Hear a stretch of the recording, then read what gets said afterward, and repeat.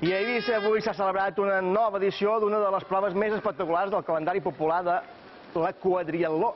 Illa d'Eivissa. Una cinquantena de valents entre la competició individual i per equips han pres part a la platja de Calabassa d'una prova que afegeix els tres sectors clàssics de la triatló, un quart en piraigua.